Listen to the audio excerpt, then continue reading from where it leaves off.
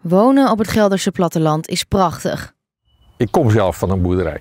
En boeren gunt Paul van der Krocht een eerlijke boterham. Ik ben niet tegen de ondernemer. Ik ben, ik ben niet tegen ondernemerschap. Ik, ik heb wel bezwaar tegen het feit dat mijn gezondheid en mijn woongenot wordt aangetast. Daar heb ik problemen mee.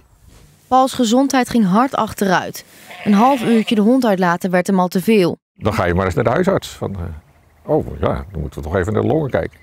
Nou, dan krijg je zo'n longtest en dan blijkt uit dat je een behoorlijk verlies hebt aan longcapaciteit. Je komt gewoon zuurstoftekort. En zijn gezondheid gaat nog altijd achteruit. Uh, die, die longklachten worden sterker. Dus ik voel me steeds meer uh, beperkt. Hij bleek al snel niet de enige met gezondheidsproblemen. Vorig jaar uh, werd mijn vrouw ziek. En die bleek een vrij heftige longontsteking te hebben. Uh, mijn dochter ja, heeft ook longklachten. Heeft ook korte ademigheid. En dan kwamen meer verhalen over longontsteking in de buurt. Ja, dan denk je, dit is geen toeval meer. In gesprek met buren werd hij gewezen op de geitenhouderij op een paar honderd meter van zijn huis en de risico's voor de gezondheid die worden onderzocht door het RIVM. Hij verdiepte zich in de geitenkwestie en leerde over de geitenstop die door de provincie Gelderland in 2017 werd afgekondigd omdat de volksgezondheid in gevaar is. Van der Krocht is verbijsterd dat de regelgeving zo benut kan worden dat ondanks zo'n geitenstop het aantal geiten in de provincie met 50% kan toenemen.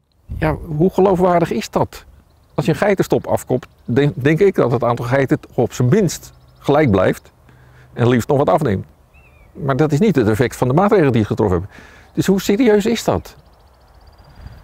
Alle uitzonderingen worden blijkbaar nog uitgenut om overal nog geiten toe te staan. Ja, zeg, als je je druk maakt over de gezondheid, is dat een onmogelijkheid in mijn overtuiging.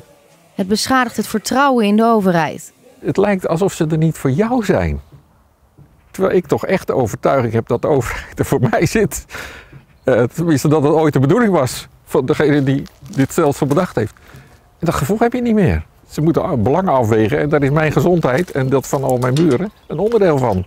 En ik vind dat nogal een zwaar onderdeel. Zoals bij veel omwonenden van geitenhouderijen in Gelderland leeft ook bij hem het gevoel dat zijn gezondheid minder belangrijk is dan economische belangen. De geitenhouderij is een miljoenenbusiness. Ik bedoel, daar gaat grof geld in op. Ik word daar zo boos van. Als je denkt van ja, uh, mijn vader wordt ziek, mijn moeder wordt ziek, mijn zusje wordt ziek. En we hadden daar mogelijk iets aan kunnen doen. We hadden dat misschien kunnen voorkomen met z'n allen als, we, als er andere keuzes waren gemaakt. Dat is de enige verklaring die ik heb. Geld, geld is belangrijker. Als je het serieus neemt, gezondheid, dan doe je dat niet. Dan denk je, potverdikkie, dat zijn toch wel, dat is echt heel ingrijpend. En dat doet iemand me aan. Jongens, stop hiermee. Ik word ziek, maar zo straks een heleboel mensen. Ik bedoel, mijn buren worden ook ziek. Telt dat dan niet?